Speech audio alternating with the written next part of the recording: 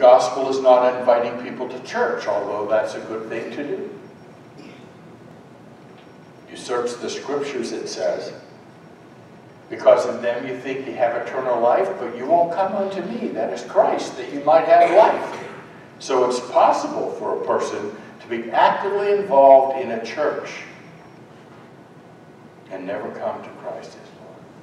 Or to study in the church scripture as no other church never come to him as Lord.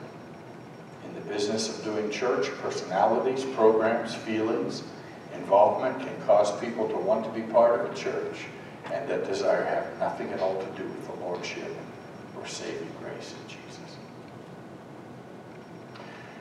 The gospel is not teaching about baptism, although that is important. I was a decision counselor at Southeast Christian Church in Louisville for three years. During that time, I spoke with dozens and dozens of people 50-50 for membership and baptism. The church policy there was all members will be immersed. So if you want to be a member, you're not immersed, you've got to be immersed. It was not at all uncommon to have people come forward and say to me, just tell me what I have to do, and I'll do it. Oh, what about Jesus? Know, uh, we've got some more to talk about.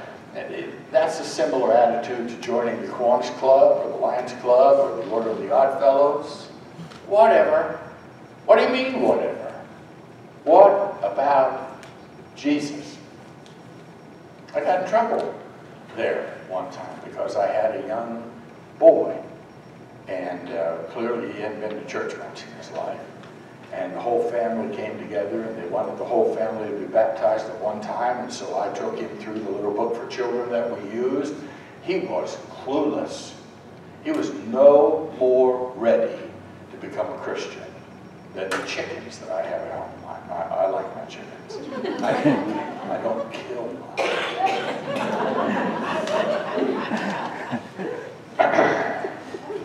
Some do. Some do. Uh, minor pets, not food. Um, but this, this young man wasn't ready. And so I went out and I told the guy who was in charge that this young man is not ready. And it was, oh yes he is. Why? Because mom and dad wanted that to happen. I'm sure that young man couldn't tell me who Jesus was, even after we went through the book. He was that unfamiliar. So it's not just teaching somebody about baptism. It's teaching them about Jesus. And these are the things they need to hear. That Jesus was born of a virgin, just like it was prophesied 700 years before his birth. That Jesus lived a sinless life on this earth, just as we are on this earth.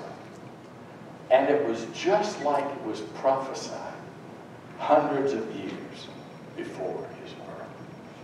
That Jesus died a substitutional death for me and for you. That Jesus was buried in a borrowed tomb that the victorious resurrection of Jesus on the third day was prophesied hundreds of years before it occurred. The resurrection appearances of Jesus, over 500 people, are part of the gospel about him and his ascension and his exaltation of Christ. Remember last week? But the good news is the story about Jesus presented so attractively and persuasively, persuasively that listeners want to know that person. That's our preparation. I say that if while you're preparing, you, you don't know what to do or say next, that's where elders come into play. That's where Rick comes into play. That's where Sunday school teachers come into play. Christian friends come into play to help us ready ourselves because this is something we must be prepared to do. When I was in my first commercial construction projects in Bardstown, Kentucky, I, I became, without anybody saying I had a preaching background, I all of a sudden became the chaplain. Brought me all kinds of things. Why? Because they could see I was different than they were. I wasn't cut off from them. I, wa- I wasn't snotty different. They were drawn to that. People will be drawn to you.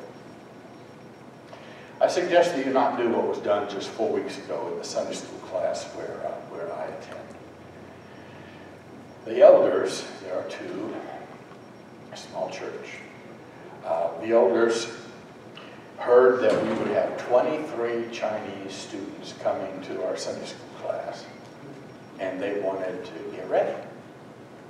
So they asked the teacher to step aside for the week, and one of the elders prepared a lesson on who Jesus is. Because what do the Chinese people need to know? Well, number one, I thought it was a hit job. yeah. Um, they didn't ask. Didn't have really have a choice. They, they agreed before they can become a member of our master's program that they have to go to church every Sunday that they're here in the United States.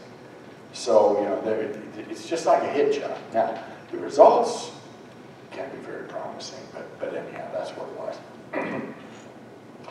the elder read three pages of information on Jesus. Folks, I was sleeping after the fourth paragraph. and I can understand English.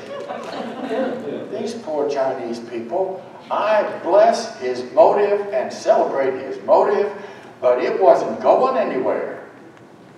He was prepared with words to say, but maybe hadn't considered his office or, or his, his uh, audience. The role of a testimony is to illustrate the remarkable differences that choosing to believe in Jesus as the Christ of God and choosing to accept his grace have made in your life. Folks, get prepared. Get prepared. If, if you haven't had it happen already, it's going to happen. When you open yourself up to doing what the Lord is commissioning you to do, people will come to you. You'll still have to go to others, but people will come to you to ask you what makes you tick. And it's Jesus. That's the difference. And our opportunity is to lead people to Him as Lord and